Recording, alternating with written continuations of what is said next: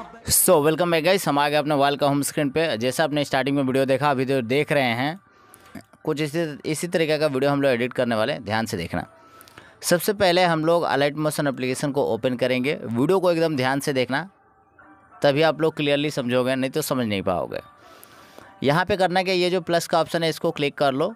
इसके बाद से गाइस यहाँ पे देखोगे नौ सौ लगे रेशियो लोगे seven twenty thirty F black screen लोगे क्रिएट प्रोजेक्ट पे आपको क्लिक कर देने होंगे यहाँ से, ठीक है? यहाँ से जैसे क्रिएट प्रोजेक्ट पे क्लिक करोगे, कुछ इस तरीक़ा से आपका इंटरफेस देखने को मिल जाता है। सबसे पहला काम ये करना है कि यहाँ पे आपको साउंड को इंपोर्ट करना है। उसका कारण मैं बताऊँगा। सबसे पहले आप साउंड को इम्पोर्ट कर लो। तो गैस यहाँ से देख सकते हैं कि एक साउंड मैंने इम्पोर्ट कर लिया है, ठीक है? अब आपको इस वीडियो पे क्लिक करना है। उसके बाद थ्री डॉट पे क्लिक करना है। यहाँ से एक्सेक्ट ऑडियो कर देना है। वीडियो को क्लिक करके वीडियो को डिलीट कर लेना है। अब आपका दूसरा काम क्या है? जहाँ जहाँ पे बीट है, जैसे पहला लिरिक्स कहाँ तक है, दूसरा लिरिक्स कहाँ तक है, तीसरा लिरिक्स कहाँ तक है, ये सब पहले आपको बीट लगा लेना होगा। उसका रीजन मैं आपको बताऊँगा, बहुत सॉलिड रीजन तो ये एकदम बेसिक से और ध्यान से देखो, एकदम प्रोफेशनल बन जाओगे।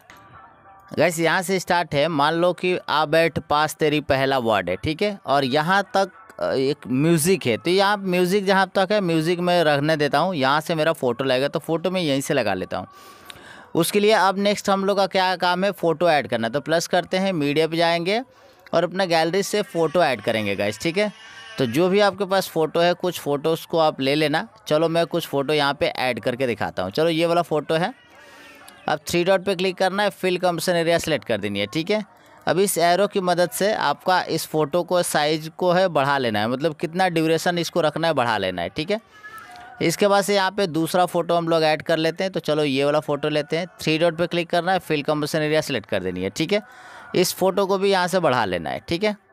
फिर प्लस करना है, फिर मीडिया पे जाना है, और जितना भी इस टाइप का है, वो सभी फ़ोटो को आपको इसी तरीके से बढ़ा के रखने होंगे, ठीक है? देख लो। एकदम बीट के ऊपर लेके जाना है, इतना बढ़ा लेना। अब इस लास्ट वाला फ़ोटो अब मेरा बच गया। जैसे मेरा गाना छोटा है तो लास्ट वाला यहीं पे हम लगा लेते हैं गाइस तो चलो ये वाला लगा लेते हैं, ठीक है? ये क्लियर है। थ्री डॉट पे क्लिक करके फिल कम्पोजिशन एरिया सेलेक्ट कर दो और इसके बाद से देख लो कहाँ तक का साउंड है। उतना ही आपको ज़रूरत है। इसके बाद से इसको हम लोग यहाँ से छोटा कर देंगे, ठीक है? ये दूसरा काम मेरा हो गया यहाँ पे, ठीक? गाइस यहाँ से मेरा लिरिक्स स्टार्ट हो रहा है। तब हम लोग लिरिक्स यहाँ पे लिखेंगे प्लस करेंगे टेक्स्ट पे जाएँगे, यहाँ पे लिखेंगे, आ बैठ ठीक है? ध्यान से देखो। आ बैठ, पास तेरी ठीक है, ध्यान से देखो गाइस क्लियरली समझोगे? हो गया। अब ये देख लो, ये टेक्स्ट लिखने के बाद यहाँ पे अलाइनमेंट का एक ऑप्शन मिलता है। एक बार क्लिक कर दो, दोनों साइड से बीचों बीच में टेक्स्ट आपका हो जाएगा, ठीक है? अब कलर पे क्लिक करके यहाँ से आपको वाइट कलर को चूज़ करना है रोबोट रेगुलर पे क्लिक करना है और इस फॉन्ट को ले लेना है गाइस ठीक है? ये वाला आप फॉन्ट बहुत ही आसानी से आपको अवेलेबल कर दिया जाएगा, मिल जाएगा, ठीक है? ये काम हो गया। अब यहाँ से एटीन पी पे जाओगे, इसको छोटा करना है। यहाँ से देख लो, छोटा करना है, छोटा कर सकते हो, बड़ा करना है, बड़ा कर सकते हो। तो आप अपने हिसाब से रख लेना। मैं एटीन पे ही फ़िलहाल के लिए रख रहा हूँ, ठीक है? अब ओके करते हैं। इसके बाद से बॉर्डर इन साइडों पे जाएँगे, थर्ड वाले ऑप्शन पे लेंगे, यहाँ से इसको एनेबल कर देंगे, ठीक है? अब ये देख सकते हो, यहाँ पे ये टेक्स्ट इतना दूर तक का है तो पहले हम लोग का काम यही करना है कि पहले कहाँ तक का बीट है वहाँ तक ये वाला मुझे कर लेने होंगे। क्लियर है गाइस यहाँ तक? उम्मीद है कि यहाँ तक एकदम क्लियरली समझे होंगे। अच्छा आप मेरा वीडियो में देखे थे तो यहाँ पे देखे होंगे कि ये बीच में कलर दूसरा था, या लास्ट वाला कलर दूसरा था और ये कलर दूसरा था। वो कैसे करना है? ध्यान से देखो।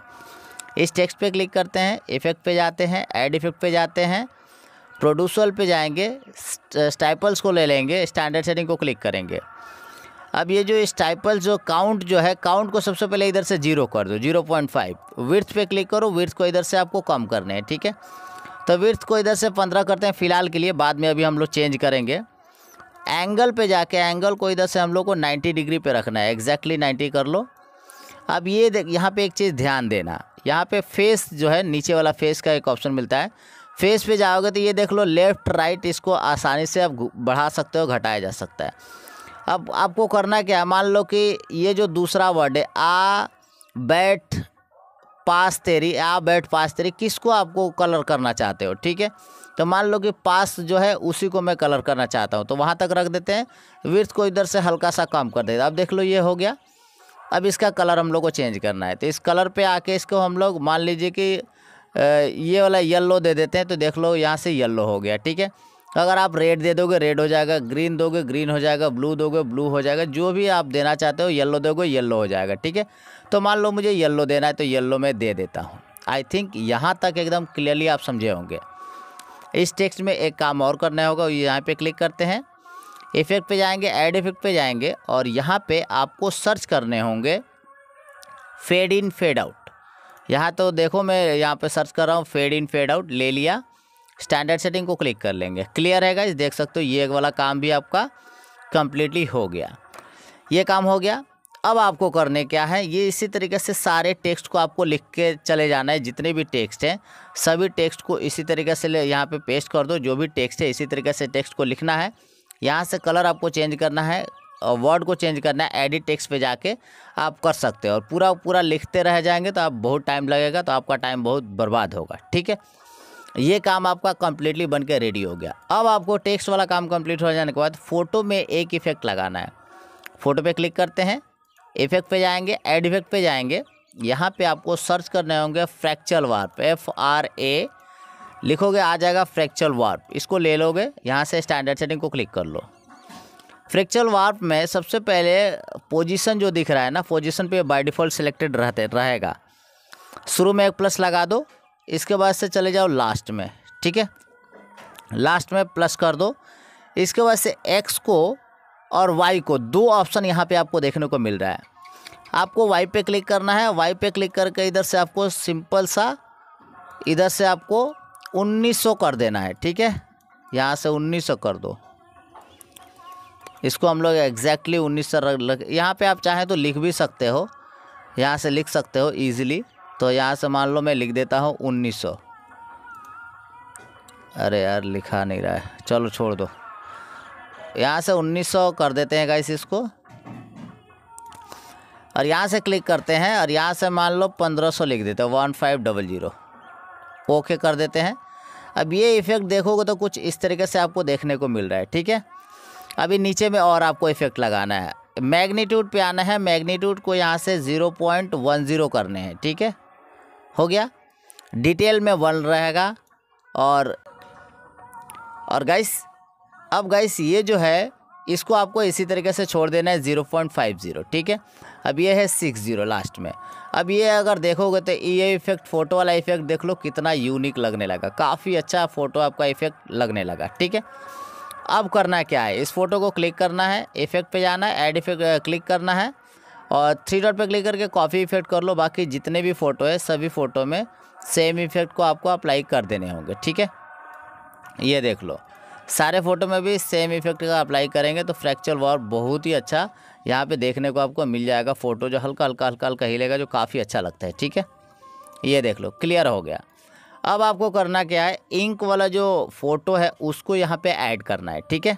तो चलो उसको ऐड करते हैं वीडियो को गाइस तो प्लस करते हैं मीडिया पे जाते हैं, उस वीडियो को यहाँ पे ऐड कर लेते हैं गाइस गाइस ये देख सकते हो, ये वीडियो मैंने ऐड कर दिया है। वीडियो ऐड कर देने के बाद आपको करना क्या है, इस पर क्लिक करना है।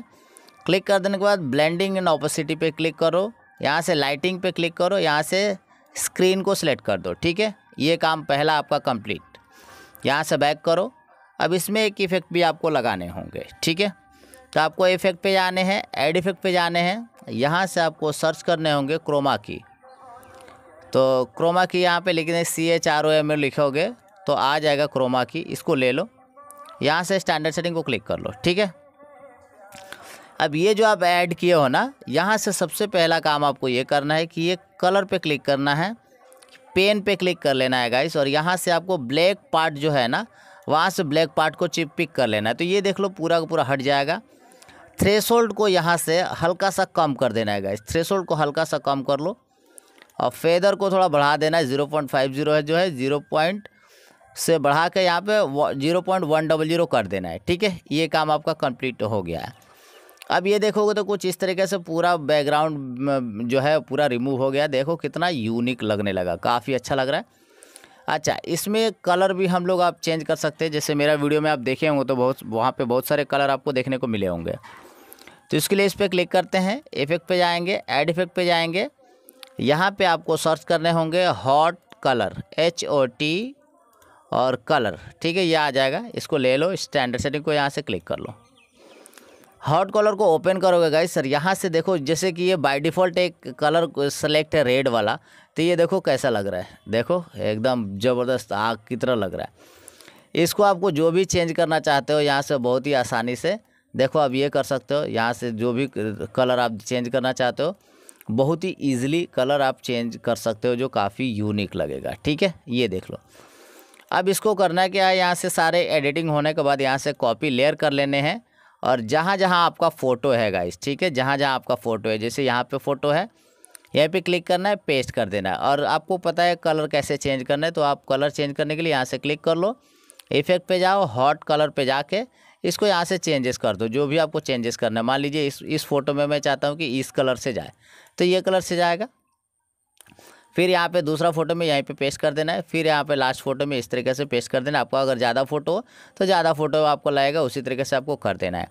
तो आई होप कि ये जो इंस्टाग्राम रील्स पे काफ़ी तेज़ी से वायरल चल रहा है, ये वीडियो आप बहुत ही आसानी से बनाना सीख गए होंगे। अगर ये वीडियो आपको अच्छा लगा है तो वीडियो को ज़रूर एक लाइक करना चैनल को सब्सक्राइब करना और दोस्तों में भी शेयर करना। धन्यवाद दोस्तों thank you thank for watching मिलते हैं नेक्स्ट वीडियो में।